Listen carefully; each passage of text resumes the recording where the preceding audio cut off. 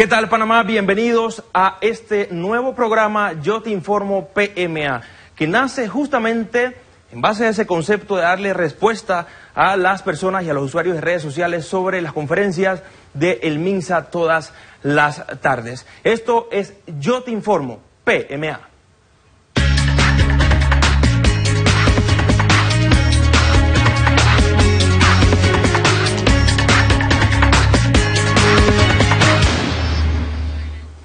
Así es, y es que hay quienes dicen que en los tiempos de información es indispensable abrir los canales correctos. Y hoy me encuentro en compañía de mi compañera Gabriela Moreno. ¿Cómo estás, Gabriela? Hola, Betseray, muy complacida de estar compartiendo con todos ustedes a través de este espacio de lunes a viernes en vivo de 8 a 9 de la mañana en Yo Me Informo PMA, un espacio para resolver preguntas, todas esas dudas que quedan día a día con esta crisis que estamos viviendo del COVID-19, sobre todo después de las conferencias de prensa en donde se revela tanta información importante.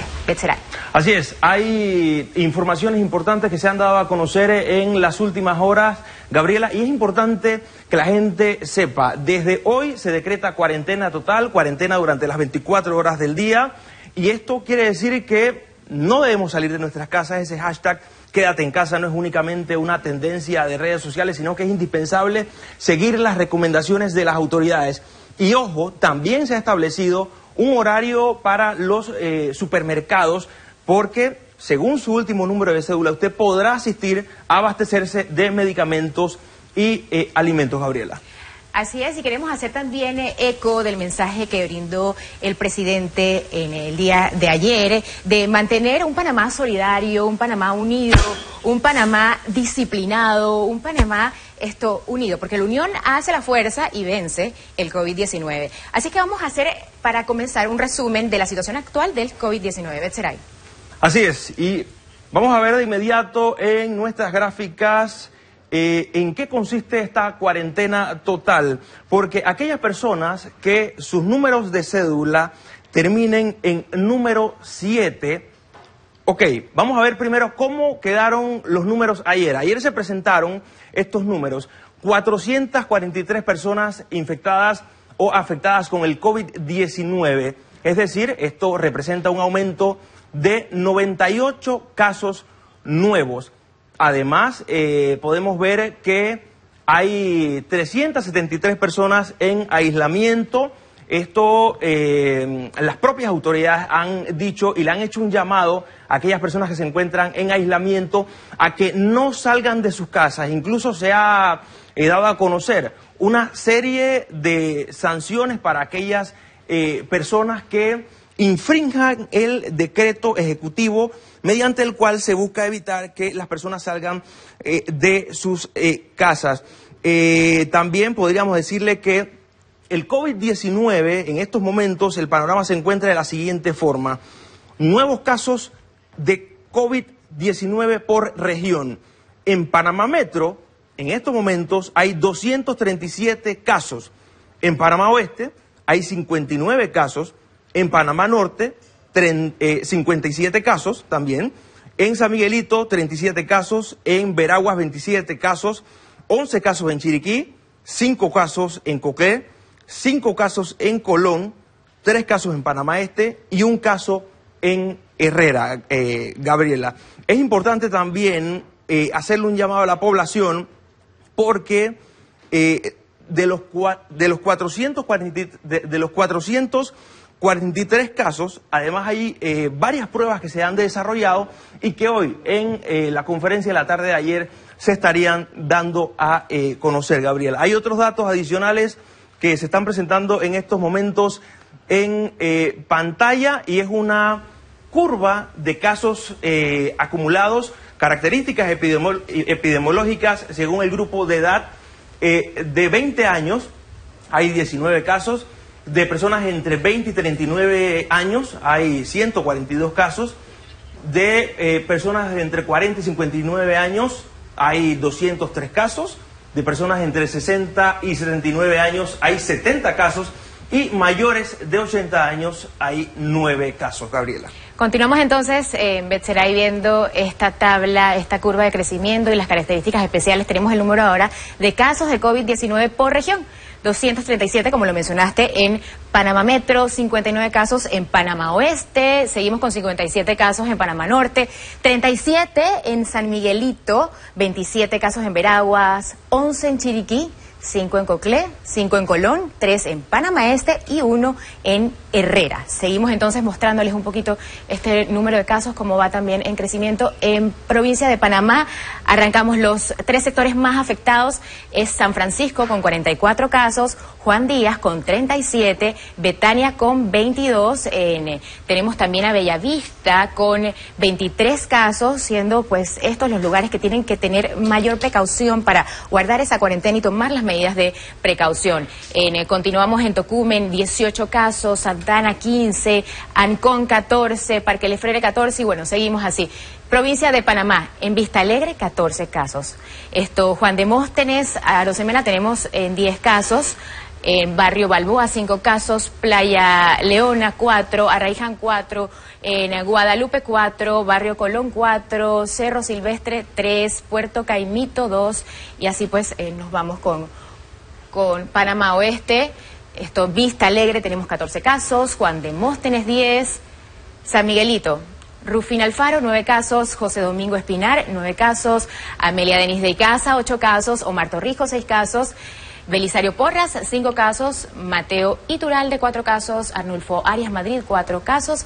Y Victoriano Lorenzo, dos casos. Belisario Frías, dos casos. Así es, y es justamente ante esa digamos, ante esa distribución de casos a nivel nacional, que las autoridades han tomado la decisión de establecer una eh, cuarentena total o una cuarentena a las 24 horas del día, e incluso hay una serie de cercos sanitarios que usted, como eh, ciudadano residente en Panamá, debe respetar. Si usted no tiene necesidad de salir de su casa a, ir al parque o a ir al, al mall, porque incluso los centros comerciales ya han cerrado en estos momentos, si usted no tiene necesidad de salir, por favor, quédese en su casa y mantenga las medidas de prevención.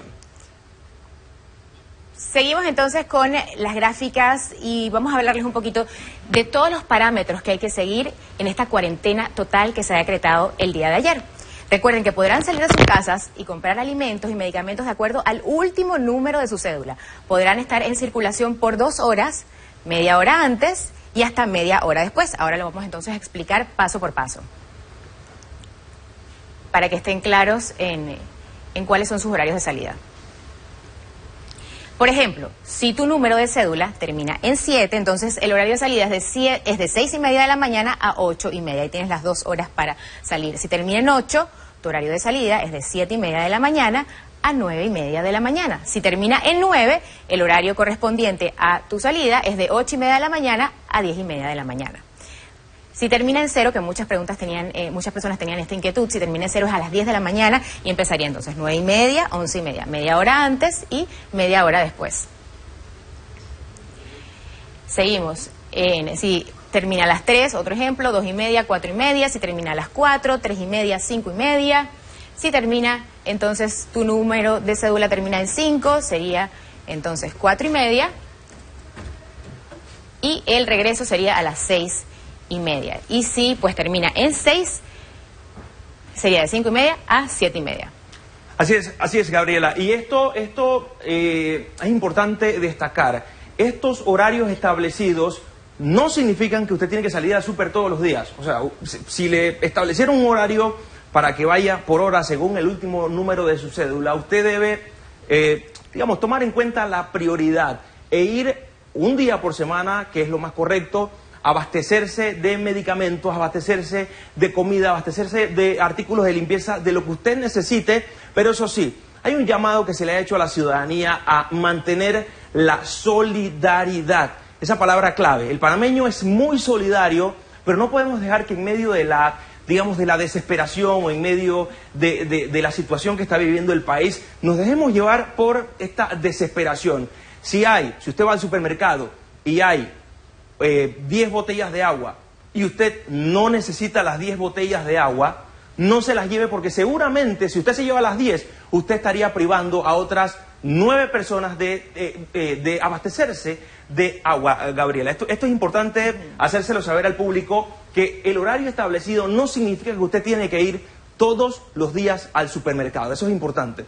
Y aparte, Betseray, la organización que tenemos que tener en casa con los recursos que tenemos, organización en la parte de comida, en hacer un menú eficiente en, los platos eh, de comida, en el menú que tenemos diariamente, administrar bien el supermercado, en las medidas de higiene también administrar bien los recursos que tenemos, como por ejemplo el agua, al momento de lavarse las manos, que es una de las principales medidas de, de prevención para eliminar el COVID-19, hay que utilizar bien el recurso del agua, no dejar el grifo andando, cuando estamos haciendo la limpieza de los pisos o limpiezas de superficies, utilizar pues bien esos recursos que tenemos para hacer un uso eficiente eh, de lo que tenemos. Vamos entonces con el eh, con eh, anillos de seguridad. Los anillos de seguridad que es parte del del plan Panamá Solidario. Así es. Vamos a explicarlo un poquito mejor en qué consisten estos seis anillos y empezamos con el anillo número uno. Recuerda el hashtag quédate en casa porque a través de este hashtag es que vamos a estar respondiendo todas sus preguntas. El anillo número uno es quédate en casa, lo dijimos. Anillo número dos, chateale a Rosa o llama al 169. Les explicamos un poquito qué es Rosa. Rosa es la respuesta operativa de salud automática, que te guiará con un cuestionario que debes responder con seriedad y con toda sinceridad. Ella envía tus datos a un equipo de apoyo entre doctores, enfermeros. De ser un caso sospechoso, la información pasa a una base de datos para ser atendido y si tienes todos los síntomas del MINSA, pues te llama. En caso de recibir la llamada, te mandarán a hacerte la prueba en el módulo de atención más cercano que tengas. Hay dos caminos. Que presentes en síntomas, Rosa te indica qué módulo debes asistir y si no presentas síntomas te quedarás en casa. Así es, Gabriela, y es importante hacer un alto aquí porque este dispositivo de inteligencia artificial utilizado por el MINSA para canalizar posibles casos eh, de COVID o descartarlos también debe ser, debe ser utilizado de la manera correcta porque se han recibido muchísimos reportes de personas que envían fotografías, que envían eh, videos que no tienen que ver con el coronavirus, envían eh, mensajes que para molestar, porque hay que decir esto, esta línea eh, llamada Rosa, que es una línea de WhatsApp y también la línea 161, debe ser utilizada de la manera correcta, porque mientras usted ocupe la línea, hay una persona que seguramente podría necesitarlo y que no puede tener acceso a esta línea ya rosa. Así es. Igual, si tu caso resultó negativo, debes eh, tomar las medidas de seguridad, aislamiento total por 15 días y pues seguir todas las recomendaciones. Vamos entonces a continuar con eh, el anillo número 3, que es el módulo de atención. Les explicamos un poquito más en qué consiste el anillo 3. Eh, son contenedores o carpas eh, que se encuentran fuera de las instalaciones de salud. Los módulos fueron creados para no congestionar el sistema de salud y evitar de esta manera el riesgo de contagio de personas hospitalizadas por otros casos. Además, son más fáciles de desinfectar. Este es el anillo número 3, módulo de atención. Aquí está un ejemplo de cómo son los módulos de atención del anillo 3. Vamos entonces con el, el, anillo 3, respuesta del MINSA. Después que te tratan, te debes quedar en casa. Si tu resultado es negativo, hay una notificación individual de este caso negativo obtenido y se comunicarán contigo a través de un mensaje. Si tu resultado es positivo, entonces entras a protección actualizada de casos y obviamente observación. Así es, ese, ese es, es Paco y Nico, ¿ah? eh, son las iniciales que se han establecido, eh, Gabriela, para eh, este protocolo de respuesta para el público, digamos. Es importante reiterarle la línea 169, 169 para todas aquellas personas que presenten algún síntoma o que, o que sientan que tienen tos, que, que, que tienen alguna secreción nasal, que tienen los posibles síntomas que ya las autoridades han anunciado y también para las personas que nos están preguntando a través del hashtag yo me informo PMA en las redes sociales de CERTV y el MINSA, el último número del pasaporte también le servirá a las personas, a los extranjeros residentes en Panamá para hacer el supermercado, porque creo que esta parte sí eh, habría que aclararlo un poco más y más adelante estaremos respondiéndole las preguntas enviadas a través del hashtag yo me informo PMA. Gabriela. Continuamos entonces con la información de los anillos. Si entras a la lista de Paco, eh, irás a un hotel especial para cumplir la cuarentena obligatoria por 15 días, monitoreado por las autoridades de salud y fuerza pública. por otro lado, si presentas síntomas agudos, irás al hospital o a la unidad de cuidados intensivos. El anillo número 5 es el nuevo hospital modular. Son nuevas 100 camas hospitalarias que incluyen unidad de cuidados intensivos y aquí se concentrarán todos los esfuerzos de intensivistas pues trabajando para vencer el COVID-19. El anillo número 6 ya es la fase de recuperación. Nuestros hoteles han puesto a disposición más de 2.000 camas para completar el periodo de recuperación total. En caso de ser necesario, con monitoreo clínico. Los hoteles de recuperación serán distintos a los hoteles de cuarentena. Así es. Anillo número 6, anillo quédate en casa. Anillo, eh, bueno, ahí están los seis anillos. El número uno, quédate en casa. Esa es la primera barrera de protección. Anillo número dos, escríbele a Rosa o llama al 169. Eso sí, llame de una manera eh, correcta, de una manera, digamos, si es indispensable llamar y contactar a Rosa, hágalo, pero no lo haga únicamente porque no tiene nada que hacer en casa. Anillo número tres, módulo de atención médica. Por supuesto, anillo número cuatro, Respuesta del MINSA, anillos eh, número 5, hospitales eh, modular, o el hospital modular que hemos visto en los últimos días, imágenes de una manera, digamos, rápida de cómo se ha ido eh, construyendo y se espera que esté listo en menos de un mes. Anillo número 6, fase de recuperación. Por supuesto, Gabriela. Gracias, Betseray. Esto es Yo Me Informo PMA. Este es el primer programa que estamos haciendo en vivo para responder todas esas preguntas, interrogantes, inquietudes que quedan eh, con todo este fenómeno del COVID-19 a través del hashtag Yo Me Informo PMA. Ya viene esa parte importante de las respuestas con especialistas que tenemos aquí en Yo Me Informo a través de las pantallas de CERTV. Vamos a un cambio y regresamos con mucho más.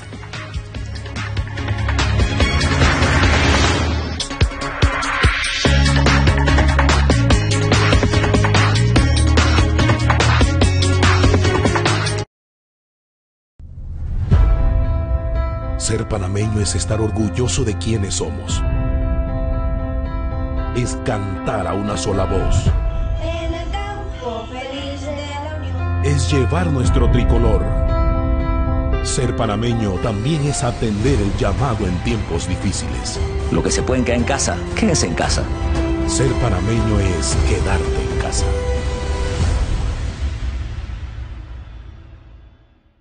Esto es un equipo y el equipo se llama Panamá. Y nosotros estamos haciendo y vamos a hacer todo lo que tengamos que hacer contra este enemigo.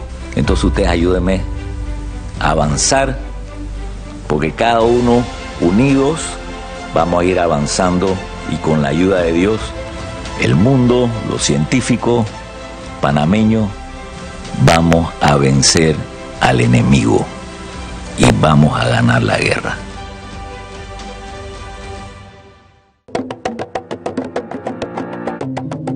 Panamá es vida y color. Unión de razas y biodiversidad. Centro y conexión de las Américas y el mundo. Donde todos son bienvenidos. Inspirados por nuestra flor nacional. Hoy florece nuestra nueva imagen. Identidad que nos representará en los Juegos Centroamericanos y del Caribe, Panamá 2022. El momento es ahora.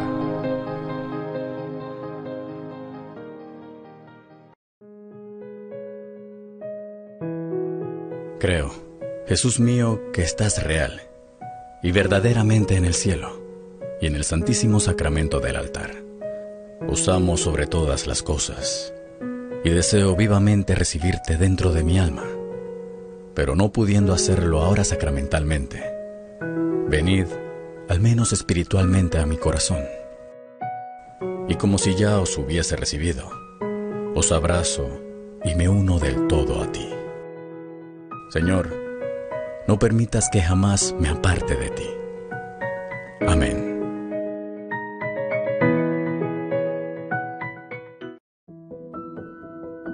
La Conferencia Episcopal Panameña te invita a rezar todos los días a las 12 del mediodía el Angelus y la oración contra el coronavirus, mientras tocamos al unísono las campanas de las parroquias en Panamá. Elevemos nuestras plegarias al Santísimo.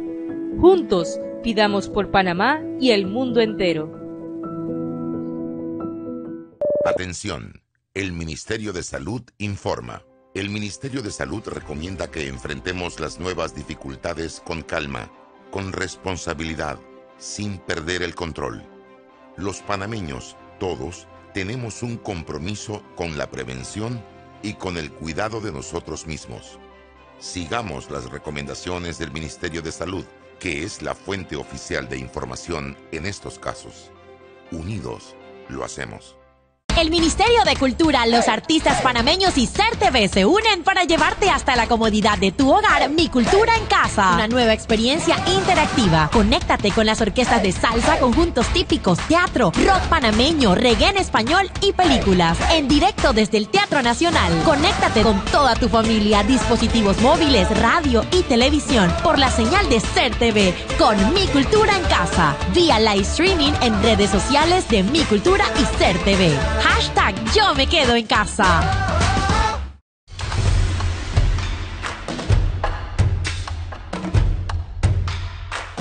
Todos somos Panamá. Verano, Ser.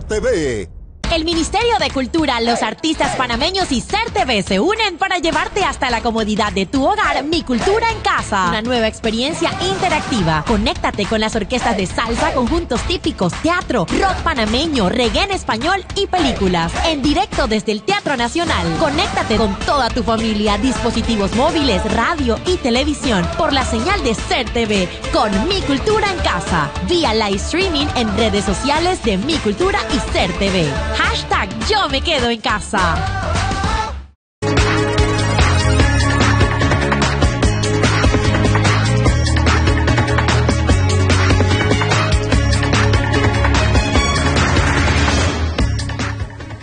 Estamos de vuelta con más de Yo me informo PMA, este programa que busca aclarar las dudas que usted tenga sobre el COVID-19 en Panamá. Y por supuesto tenemos nuestro primer invitado que es eh, una de las fuentes oficiales, una de las voces autorizadas por parte del MINSA para eh, responder a estas preguntas que hemos recibido a través de las redes sociales con el hashtag Yo me informo PMA. Se trata de Israel Cedeño, subdirector de planificación del Ministerio de Salud. Bienvenido a eh, CERTV. Buen día, muchas gracias. Gabriela, por favor, eh, presente las primeras preguntas que vamos a tener para el doctor. Vamos, Betseray, entonces a mostrarles esas preguntas, esas interrogantes que tienen las personas a través del hashtag Yo me informo PMA. Recuerden que diariamente pueden participar. Vamos entonces a ver la primera pregunta que la hace Gaviñazo. La pregunta es, ¿por qué no están colocando las enfermedades crónicas de los pacientes que están enfermos gravemente o que han fallecido? ¿No es esta información vital que todos tenemos derecho a saber, estadísticamente hablando? Es la pregunta para el doctor. Buen día, muy buena pregunta. Sin embargo, si bien es cierto, no se está colocando en pantalla, sí se está informando. La mayoría de los pacientes que han fallecido, por no decir todos, tienen comorbilidades, que, que es lo que lo han hecho pacientes vulnerables y por lo cual lamentablemente han fallecido. La información sí se tiene estratificada y no solamente para los pacientes fallecidos, sino para todos los casos confirmados. La mayoría de los pacientes confirmados han tenido casos han tenido enfermedades concomitantes como hipertensión, diabetes y eso. Y en el caso específico de los fallecidos, sí, muchos han tenido que, mm, hipertensión, diabetes, problemas del corazón, enfermedades comorbidas que, insisto, han incitado o han llevado a que esa persona agrave y haya fallecido. Sí, porque justamente en redes sociales había visto preguntas en esta misma dirección que tenían que ver como que cuántas personas han fallecido directamente por coronavirus y cuántos habían fallecido a raíz de enfermedades colaterales que el coronavirus los debilitó más. sí, el coronavirus eh, es una infección que te afecta principalmente a los pulmones, te produce una neumonía. Y si además de eso ya tú tienes una, eh, tienes una enfisema, eh, sufres bronquitis crónica, tienes tuberculosis, eso hace que se exacerbe el cuadro y puedas fallecer. Y también va unado al tema de la, de la edad que tiene el paciente. Pero insisto, la información sí se tiene, se ha informado, ciertamente no se ha puesto un cuadro específico, pero eso tiene su razón de ser, porque tenemos que evitar a lo máximo eh, entrar en la posible violación de la intimidad de la persona. Si tú dices que una persona tiene 92 años, vive en San Francisco y tenía esto, esto, esto y esto, esta enfermedad es crónica, la gente puede sacar muchas conclusiones. Pero la, información la tenemos certificada porque ciertamente, como hizo la pregunta Gaviñazo, es muy importante.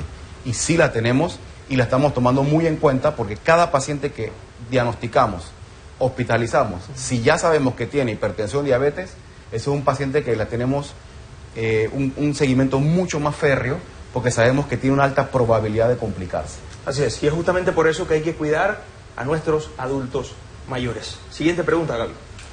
Vamos con la siguiente pregunta, la tenemos lista. La hace Alonso Alvarado. Es mi entendimiento que la cifra oficial, por ende la rata de crecimiento, está limitada por los diagnósticos máximos en el día. Por ello, ¿cuál es la capacidad de análisis de casos del COVID-19 en el sistema de salud nacional? Ok, es otra pregunta pregunta muy interesante. No hay un límite específico. Eh, a una, a- apegado a esa pregunta va la- la- los comentarios que han habido en los días de que por qué hubo poquitas muestras el fin de semana, eso. Las muestras que se toman al día y que se procesan, eso es depende de la demanda. Si yo recibo a través del 169, a través de Rosa, 100 notificaciones de posibles casos, son muestras que se van a tomar. Pero basado en eso, día a día estamos tomando las muestras que se van notificando en el sistema de salud y lo que sí es cierto es que la capacidad de respuesta de la notificación de si es confirmada o no ha aplazado al inicio cuando empezó esto hace más de un mes decíamos que podíamos hacerlo en tres horas porque es el tiempo que demora en que llega la muestra al Gorgas, que es el laboratorio principal, el procesamiento y la notificación final. Sin embargo, estamos recibiendo muchas muestras al día y por eso está durando entre 24 y 48 horas eh, la información final. Pero un límite, no hay un límite específico. Hemos recibido, estamos comprando cada vez más muestras, recibimos la donación de China de 5.000 pruebas más, así que no hay un límite de cuánto podemos eh, recibir. Lo que sí va a demorar es más, mientras más recibimos, demora un poco más el tiempo de respuesta. Así es. Siguiente pregunta, Gabriela. Seguimos entonces, recuerden que pueden participar con el hashtag Yo me informo PMA. Aquí diariamente vamos a estar eh, brindando pues todas esas respuestas. ¿Qué otras medidas de prevención en casa, aparte de lavarse las manos frecuentemente, se pueden realizar? Como limpiar la casa, qué lugares son más importantes, cuántas veces al día y con qué artículos de limpieza, pregunta la usuaria Mirna. Las recomendaciones que estamos haciendo desde el Ministerio de Salud en el tema de higiene personal e higiene de tu ambiente familiar, tu casa, incluso tu ambiente laboral, no son recomendaciones nuevas, no es nada inventado, no es nada que, que surge ahora a través del COVID. Son las cosas que tenemos que hacer y que debemos estar haciendo hace muchos años. Tus insumos para limpieza, llámese cloro o productos de estos amonios cuaternarios, etcétera, cualquier artículo de limpieza que tenga este especificado que tiene efecto bactericida y viricida, o sea, que ayuda a limpiar y prevenir infección por hongos, por bacterias, por virus, son los mismos que tú puedes utilizar usando las diluciones recomendadas en el empaque del producto. Lo que se hace es que estamos recordando a la gente que es importante hacerlo, porque muchas veces por falta de tiempo, por eh, prestar atención a otras cosas, no lo hacemos con la periodicidad necesaria. Lo que estamos haciendo ahora es eso, tienes que hacerlo todos los días idealmente. Se sigue enfatizando en el lavado de manos con agua y jabón. Eso es muy importante recalcarlo. Las personas han tergiversado y piensan que es agua y jabón o alcohol en gel. No, es agua y jabón. Si no tienes acceso a agua y jabón en ese momento, entonces usa el alcohol en gel. Y de hecho, la recomendación estándar e internacional es que si por algún motivo has tenido que utilizar el alcohol en gel, eh, no se debe utilizar o preferiblemente no utilizarlo más de tres veces seguidas. O sea que si lo has tenido que utilizar tres veces seguidas, a la cuarta ya tratar de hacer lo posible por utilizar agua y jabón. En cuanto, insisto, a la limpieza, trapear, limpiar muebles, limpiar cuartos, con tus diluciones adecuadas de cloro, es basta y sobra. Ok, perfecto. Gabriela, ¿qué otras preguntas se están haciendo a través del hashtag Yo me informo PMA? Sí, eh, vamos a realizar la siguiente pregunta, pero queremos recordarles también que a través de Yo Me Informo en pma.gov van a tener eh, muchas respuestas también generales de todo lo que está pasando, recomendaciones también que están realizando los expertos.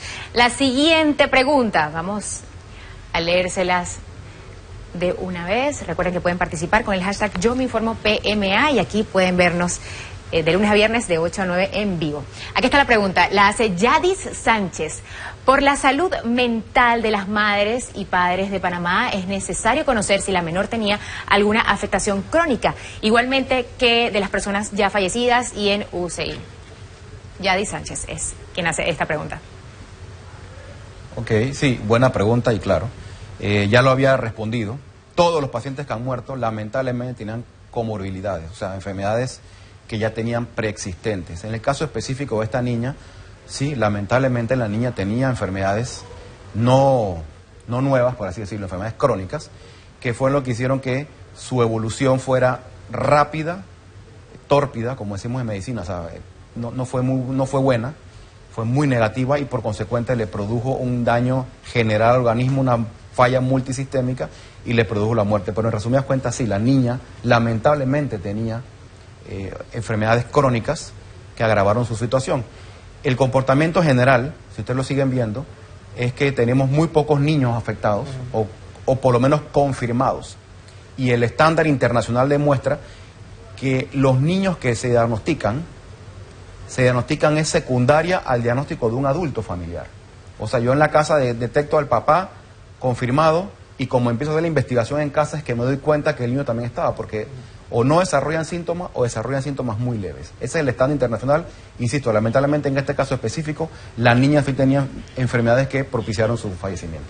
Ahora bien, esto no significa que se puede dejar a los niños ir al parque porque simplemente no, no, no pre- presentan síntomas, digamos. Exacto. Eh, de hecho hay un mayor riesgo, porque como, como tienen síntomas muy leves o casi no tienen síntomas, pero sí siguen siendo eh, personas que pueden contagiar a los demás.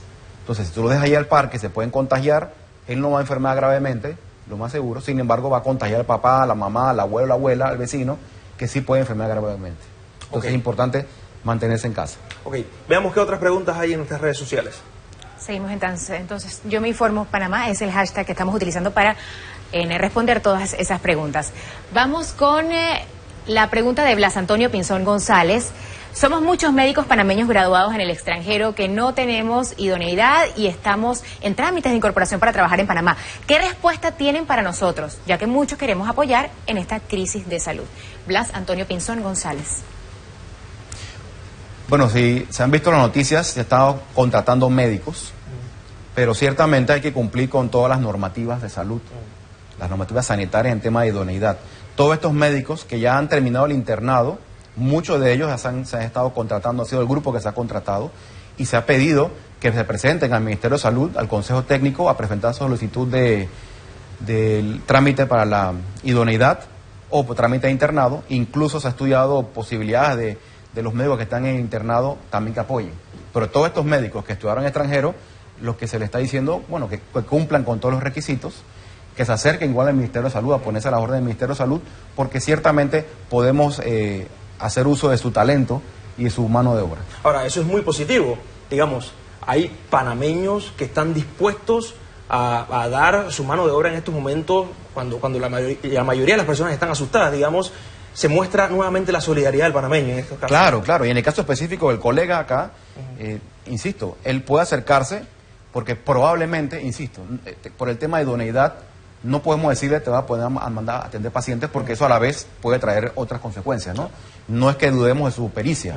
Lo más seguro que como buen médico es buen médico, insisto, pero, Pero, digamos, hay un protocolo pero hay un seguir, protocolo que hay que seguir. Pero insisto, él puede llegar. La colaboración no es solamente para atender pacientes, hay muchas cosas que necesitamos que nos ayuden. Así que siempre se le, la ministra ha hecho el llamado que se acerquen al ministerio y podemos ver en qué nos pueden colaborar. Bueno, bienvenida, eh, todas las manos para ayudar, Gabriela. Seguimos entonces respondiendo todas esas dudas, inquietudes que hacen a través de las redes sociales, Instagram, Twitter, en- con el hashtag Yo me informo PMA. Tenemos la siguiente pregunta. Si el personal de salud sale más envía cuarentena, ¿qué pasa con los compañeros que tuvieron contacto con él? ¿Qué medida hay si el recurso humano sanitario está afectado o cuál es el plan? Pregunta Reinaldo. Así es, si sale po- positivo, si sale positivo un caso Ah, y se envía a cuarentena, ¿qué pasaría en ese caso? Bueno, todo caso confirmado hay que hacer la investigación de los contactos. Eh, hemos tenido ya algunos colegas con confirmación de COVID y lo que se ha hecho es eso, se investigan los casos, los contactos más estrechos, se le toman muestras a los que están sintomáticos y a los contactos estrechos se les envía a cuarentena. Y precisamente por eso es que eh, el Ministerio de Salud ha hecho toda una reingeniería en recursos humanos para redistribuir todo el recurso humano para evitar que si tengo un médico de un cuarto de urgencias y salió positivo y tenga que poner en cuarentena a él, a la enfermera y al otro médico, eso quede sin personal. Eso ya todo están eh, las estrategias establecidas para poder suplir la demanda en caso necesario. Pero ciertamente, cada persona, independientemente de su profesión, que sale positivo, se investigan los contactos y los contactos estrechos van a entrar en cuarentena. Así es. Realmente interesante las preguntas que hemos estado recibiendo en nuestras redes sociales, doctor. Eh, aunque esta pregunta no la hemos incluido, eh, pero quisiera saber esto. El, panameño es muy dado a autodiagnosticarse, digamos. eh, siente que estornuda y va a la tienda, se compra un medicamento y se lo toma. Si tiene síntomas eh, que, que han dicho las autoridades que pareciera ser coronavirus, ¿es recomendable tomarse alguna pastilla para bajar la fiebre o inmediatamente llamar? Porque esa pregunta me la hicieron en mis redes sociales. Sí, el panameño, el ser humano en general, tiene esa tendencia a automedicarse por ahorrarse el tiempo y al médico o, lo, que, le pase por su cabeza y tomarse decisión. Siempre se ha dicho que no, no debes automedicarte, tienes que consultar. Ahorita mismo, con el tema del COVID, tenemos la ventaja que tenemos el 169, tenemos consultorios virtual, tenemos Rosa y puedes solicitar guía. Ciertamente, eh, la recomendación es, insisto, no automedicarse, pero lo máximo que una persona puede ingerir es acetaminofén. Porque digamos que es el medicamento más inocuo y con menos efectos adversos. Pero si te sientes muy mal, tienes mucha fiebre, mucho dolor de cabeza, hidratación abundante es lo mejor que puedes hacer, mucho líquido. Y en lo, más, en lo, lo más que puedes hacer es tomar acetaminofén, pero igual debes acudir al médico a buscar más consulta para que te diga qué puedes seguir tomando. Así es. Tenemos más preguntas a esta hora de la mañana. Seguimos entonces con más preguntas. Importante también no dejarse en guiar por fuentes que no son verídicas y pues en hacer pues caso de, de las fuentes que son oficiales. Hay otra pregunta que la hace Benja y dice, ¿habrán taxis o algún tipo de transporte circulando durante los días de esta cuarentena total? Porque hay quienes no cuentan con autos o formas de moverse y el movilizarse es un factor importante para tener en cuenta. Bueno, anoche en, la conferencia, durante la conferencia de prensa, la ministra de Salud y el ministro de Seguridad lo mencionaron, que hay una estrategia para el manejo de transporte para los empleados públicos y la población que va a seguir trabajando a través del metro, metrobús, los taxis. Ciertamente, antes de venir para acá, en el camino me encontré con varios taxis en la, en la calle. Todo eso está gestionado, sin embargo, evitando la gran cantidad. En el tema específico de los metrobús también se estableció cuántas personas pueden subir por tiempo. Pero sí, sí se está garantizando que haya transporte. Al principio, como todo, todo cambio genera caos. Al principio puede que haya unas fallas, pero eso ya se está recuperando. Pero se está garantizando que todas las personas que van a tener que salir, porque son de las excepciones al, al- al decreto, van a tener el transporte necesario para poder eh, trasladarse a su trabajo y, y de vuelta a su casa. Así es. Y en todo caso, para ir al supermercado, los que no tienen carro, digamos. Correcto. ¿Cómo no? Gabriela, más preguntas. Continuamos con más preguntas que hacen los usuarios. Tenemos esta pregunta de Nelva Marisa Araúz Reyes. ¿Cuándo se declara esta cuarentena total, qué numeración se aplicará para la salida controlada de personas extranjeras residentes en Panamá? ¿El último número de carnet o el de pasaporte? Sería importante incluir una aclaración para esta población, menciona el usuario. Bueno, eso lo mencionó anoche también el ministro de Seguridad, porque cuando se hizo el primer llamado a atención de que probablemente iba a pasar, ciertamente solo se mencionó cédula. Pero él anoche hizo la corrección, que en los, en los extranjeros se va a utilizar el pasaporte y es el último número del pasaporte, con la misma numeración que se explicó con la cédula, ¿no? Y que en el caso tal, esos pasaportes que terminen en letra, es la el número antes de la letra. Así es. Y se reitera el llamado a que no significa que tiene que ir todos los días al Exacto. supermercado. O sea, vaya, yo les recomendaría incluso una vez por semana o una vez a la quincena, compre lo que necesita, regrese a su hogar y cuide a su familia cumpliendo el primer anillo de seguridad. Ojo, y otra cosa muy importante, no es no solamente que es para ir a- que, que, no- que vas a ir todos los días al supermercado, eso es un tiempo para que vayas a hacer eh, trámites necesarios. Indispensable. Indispensable. El banco, eh, súper, farmacia, no todos los días, pero no es que es un tiempo que tienes para salir a caminar. Y- O a pasear el perro. No, ese es un tiempo exclusivo para hacer cosas necesarias que tienes que hacer y ese es el tiempo estipulado que tienes por día, pero y si- como lo dices tú, no es que tienes que hacerlo todos los días y, a- y no es para salir a pasear. Claro.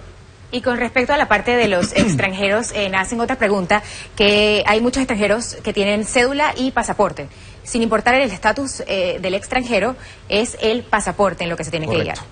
Así es. Tenemos Vamos preguntas. entonces con la siguiente pregunta que le hace Daxi Celaya y es, si tengo cita de control prenatal para hacerme exámenes de control en la cuarentena total, ¿también se, ma- se manejaría por el número de cédula?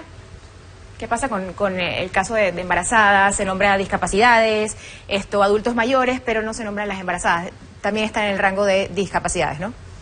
Eh, sí. Sí. Bueno, no, no, no está en el rango de discapacidad porque no es una discapacidad, pero sí es un, es un paciente especial. También desde un inicio se habló que los controles prenatales, y en especial los controles prenatales de esos embarazos de alto riesgo, iban a continuar. Estas personas, estas mujeres deben ponerse de acuerdo con su médico y establecer los horarios en que los va a atender. Preferiblemente utilizando el horario que tiene permiso, por así decirlo, de salir basado en el número de cédula. Pero sí, debe continuar su control prenatal, pero en plena coordinación con su médico obstetra. Justamente para responder esas preguntas que todos los eh, panameños tienen, puede enviar sus mensajes a través de nuestras eh, redes sociales con el hashtag Yo Minsa y también CERTV Panamá. Gabriela, ¿tenemos más preguntas? Tenemos más preguntas, continuamos. Vamos a estar, como lo hemos dicho, todos los días respondiendo todas esas preguntas que quedan en, eh, de muchos usuarios. Por ejemplo, Ricardo dice, de darse una cuarentena, el personal de seguridad privada se podrá movilizar. ¿Cómo quedarían las urbanizaciones que son custodiadas por ese personal? ¿Qué respuesta tenemos? Bueno, eso está ya dictaminado en el decreto, en el anterior creo que era el 500 y en el actual. Son las excepciones. Todo lo que es seguridad pública y privada, ellos van a continuar con su horario normal y como todos los funcionarios que están dentro del, rango de, de las excepciones, debe portar un carnet de identificación o un salvoconducto que certifique que él es empleado de esa empresa de seguridad privada y especificando idealmente el horario que él tiene. En la, empresa, en la seguridad privada es muy particular porque ellos hacen turno de 12 horas. 6 de la mañana, 6 de la tarde o 6 de la tarde, 6 de la mañana. Así que, pero sí también está estipulado dentro de las excepciones y ellos van a laborar normalmente. Así, y también evitar el juega vivo, porque ciertamente si tienes un salvoconducto para laborar y tú quieres utilizarlo para ir a dar una vuelta al parque, esos son otros 500 pesos. Hay que, eh, digamos, reiterar ese llamado a quedarse en casa y solo salir o a trabajar o a hacer lo indispensable, Gabriela. Seguimos entonces con la siguiente pregunta, la hace Juan Carlos Gómez. Las personas que tenemos mascotas, perros, ¿podremos sacarlos en la cuarentena a hacer sus necesidades? Es una buena pregunta, doctor. Una- Mucha gente está preguntándose eso en estos momentos. ¿eh? Es una muy buena pregunta. Mira, eh, si vives en casa tienes patio, usa el patio.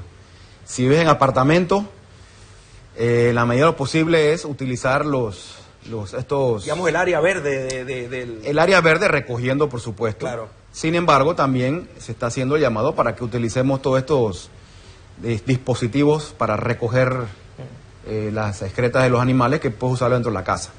Lamentablemente hay que hacer todo lo posible por no salir. Si no tienes estos pañitos que se ponen en el piso para que el perro orine o defeque, entonces sacar la área verde del, a- de- interna de lo- del, del pH o del edificio y recogerlo inmediatamente, por supuesto. Pero todo esto en plena coordinación con el administrador del edificio. Claro, sin, sin violentar las reglas del, pH sobre todo y sin alejarse tanto del perímetro, porque hay, es. quienes van a un parque que está a cinco No, no, no. cuadras, cuadras del Vuelvo, lugar. repito, insisto, es dentro del perímetro del edificio, en este caso, porque pH también puede ser el- los residenciales, es dentro del edificio. Mm. Si no puedes, insisto, es a la medida de lo posible que lo hagan dentro de la casa, el periódico, el, o las veterinarias venden paños especiales para esto. Bueno, el gato no hay problema porque usa la, Claro. el sandbox, pero con los perros eso, usar los pañitos que ustedes dentro de la casa y en, si no puedes hacerlo, entonces salir, pero dentro del predio del edificio, previa coordinación con el administrador del edificio, con los vecinos y recogiendo inmediatamente las excretas y, y haciendo una disposición adecuada de ellas. Ok, Gabriela, ¿tenemos más preguntas? Estamos respondiendo a sus preguntas a través del hashtag Yo me informo PMA y la siguiente la hace Michael Carrillo. ¿Cuántos de los casos nuevos de los últimos días no son relacionados a contactos conocidos, sospechosos o confirmados o nexos por viajes? Y en base a esto, ¿cuándo se cambia la definición de sospechosos si ya hay cuadros respiratorios presentándose? Bueno, el número exacto, eso no lo manejo en este momento. Sin embargo, sí ya sabemos que tenemos transmisión comunitaria. Y por eso, precisamente, hemos ido escalonando la cuarentena, el toque de queda de cuarentena total. Porque ya tenemos eh, casos de personas que se han contagiado aquí en Panamá, que no habían viajado y no habían estado en contacto con nadie que había estado viajando. Entonces, la relevancia ahora es contener los casos nuevos por día, eh, evitar que se siga propagando a nivel nacional. Eso es la, prioridad en este momento, pero número exacto, vuelvo, repito, en este momento no lo tengo, pero ya sabemos que tenemos transmisión local. Ok, tenemos más preguntas, doctor. Tenemos la siguiente pregunta que la hace Ricardo Chial. En, eh, ¿Cómo es el procedimiento al momento de una emergencia, brazo roto, ataque al corazón, que se requiera llevar a una persona a urgencia de un hospital durante el toque de queda? ¿Llamo a una ambulancia, en este caso 911, o puedo salir en mi carro? Bueno, primero, primero, quedó algo de la pregunta pasada. Casos sospechosos. Se le va a tomar muestra a las personas que tienen síntomas. Todo cuadro respiratorio, ya nuestros médicos a nivel nacional están capacitados y saben cómo discernir de qué caso puede ser sospechoso de coronavirus o no. Tiene síntomas, le toma muestra y con él se va a confirmar o no. Mientras tanto, se mantiene como caso sospechoso. En la pregunta que hacen acá, basado en la emergencia, eh, si tú tienes, una, un servicio de ambulancia que siguen funcionando, eh, tú usas tu servicio de ambulancia privada o llamas al 911 para el traslado. En la medida de que no tengas acceso, eh, llames al 911, no puedes, no te pueden a buscar, no, lo- no logras que te lleve una ambulancia, tú puedes proceder con tu auto eh, y, y al si te paran el- el- a un retén, tú informas cuál es la urgencia y vas a proceder a un cuarto de urgencia y se va a atender tal cual como es una emergencia. Así es, es importante seguir estas recomendaciones. Seguimos, tenemos más preguntas bajo el hashtag Yo me informo PMA que se hacen a través de Twitter, Instagram. Dice, ¿cuáles son las secuelas después de haber sido contagiado por el COVID-19? Jorge García, secuelas. Bueno, eso todavía está investigándose, se está porque es una enfermedad nueva. Eh, Incluso en China, que es donde empezó todo y, tienen más tiempo trabajando con esto, están todavía en investigaciones cuáles son las secuelas. Se ha hablado mucho de fibrosis pulmonar, de daños pulmonares permanentes, en algunos casos han hablado de daños neurológicos. Realmente no hay una evidencia específica ahora de que quede una secuela por COVID. Sí se sabe que si una persona ya tenía una enfermedad pulmonar antes de, por ejemplo, el paciente fumador crónico que además ya tenía el famoso EPOC, la enfermedad pulmonar obstructiva crónica por el fumado, ciertamente se va a agravar con más facilidad, puede morir por todo ese riesgo y además, si se recupera, puede que su afectación que ya tenía quede más avanzada. Pero una persona completamente sana que se enferme por coronavirus y que haya evidencia de que va a quedar con una secuela, en este momento no existe esa evidencia. Así sobre todo porque, porque es algo nuevo y de hecho hace poco se dio a conocer que la primera paciente fue dada de, alta también. El, el director del Seguro Social dio a conocer que un paciente habría, habría salido de eh, cuidados intensivos eh, y que habría ya prácticamente llegado a un punto de no detección de- del, del COVID. Sí, eso es muy importante aclarar algo. No se le ha dado de alta. Eso es un paciente que estaba en la unidad de cuidado intensivo porque estaba gravemente enfermo. Y se recuperó un y ya mejoró su estado y ya pudo haber, pudo haber eh, se pudo sacar de cuidado intensivo y está en sala regular. Ok. Para declarar a un paciente curado eh, es un tema de recuperación clínica, un tiempo específico que hay que esperar y repetir las pruebas para ver si están negativas y aún así esperar un tiempo más para darle un seguimiento. Ok, última pregunta, doctor. Así es, tenemos la última pregunta para el doctor y la hace Zulay Peters. ¿Qué medidas se están tomando para ayudar al personal sanitario con el tema de transporte? Muchos, luego de largos turnos, no consiguen cómo regresar a sus hogares, doctor. Sí, como ya lo mencioné antes, todo cambio genera caos. Cuando empezamos a limitar el movimiento por el tema del toque queda, sí, tenemos muchos médicos, enfermeras, técnicos de enfermería, trabajadores de salud en general, que ciertamente no tienen carro.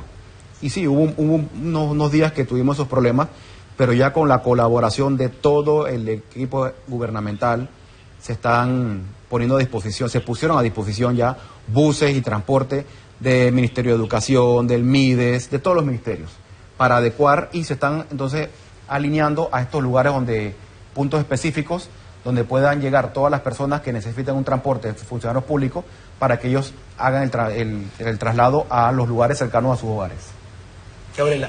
Gracias, doctor Israel Cedeño, por su participación en este primer programa de Yo Me Informo PMA, en un programa muy importante porque estamos respondiendo todas las dudas, todas las incertidumbres que quedan en este momento de, eh, de batalla contra el COVID-19. De lunes a viernes nos pueden escuchar aquí, nos pueden ver de 8 a 9 de la mañana. Así es, Gabriela, hacerle llamado a la ciudadanía para el uso correcto de la plataforma Rosa, también la línea 169. Solo llame si tiene síntomas o si conoce a alguna persona que tiene síntomas para que las autoridades puedan darle respuesta. Recuerde los anillos de seguridad. Quédese en casa. Muchísimas gracias, doctor, por estar con nosotros. ¿Cómo es el saludo? Así. Ok. Hasta mañana.